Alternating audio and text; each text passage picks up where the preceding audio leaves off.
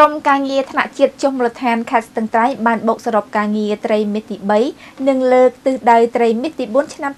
2016លោកស្រីទេពចរិយាជម្រាបជូនព័ត៌មានពិស្ដា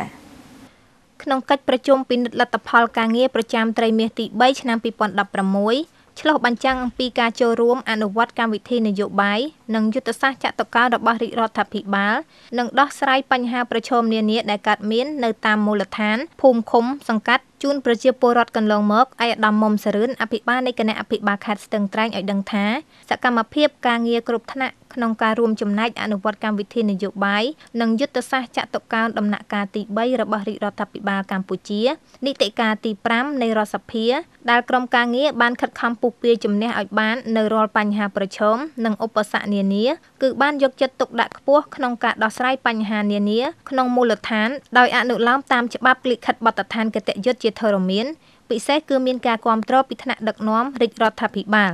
អាយដាមបានបង្ហាញឲ្យឃើញពីសកម្មភាពចុះបំពេញការងារតាមមូលដ្ឋានរបស់ក្រុមការងារបានទទួលនៅសមិទ្ធផលមួយចំនួនជាប្រយោជន៍សម្រាប់ប្រជាពលរដ្ឋរួមមានការងារពង្រឹងសន្តិសុខសណ្ដាប់ធ្នាប់សាធារណៈ ការរៀបចំវេទិកាសាធារណៈដើម្បីជំរុញការអនុវត្តគោលនយោបាយភូមិឃុំមានសុវត្ថិភាពនិងការផ្តល់សេវាសាធារណៈនានាសម្ដៅបំផុសចលនាឲ្យមានការចូលរួមជាមួយប្រជាពលរដ្ឋនិងមន្ត្រីរាជការក្នុងការថែរក្សាពង្រឹងសន្តិសុខសណ្ដាប់ធ្នាប់នៅតាមមូលដ្ឋាននិងពង្រឹងសកម្មភាពការងាររបស់អាជ្ញាធរមូលដ្ឋានក៏ដូចជាកងកម្លាំងមានសមត្ថកិច្ចទាំងអស់ឲ្យប្រកាន់ភ្ជាប់វិន័យ សេចក្តីថ្លៃថ្នូរសិលធម៌មនសិការវិជ្ជាជីវៈសម្ដៅលើកកម្ពស់ការទទួលខុសត្រូវក្នុងការថែរក្សាសន្តិសុខសុវត្ថិភាពជូនប្រជាពលរដ្ឋអាយុដំឡូរ៉ាមីនអនុរដ្ឋលេខាធិការក្រសួងមហាផ្ទៃ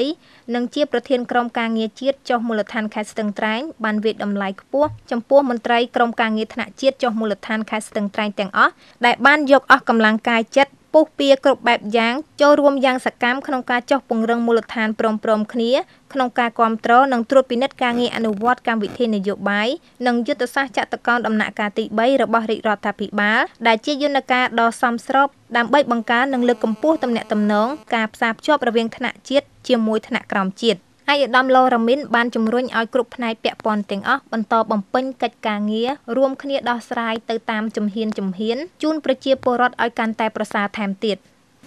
ទូរទស្សនិកជននីតិគោរពព័ត៌មានសហគមន៍ជាតិរបស់ទូរទស្សន៍ជាតិកម្ពុជានៅពេលនេះចាប់តែប៉ុណ្ណេះសូមអរគុណចំពោះការទស្សនារបស់លោកអ្នកសូមជម្រាបលា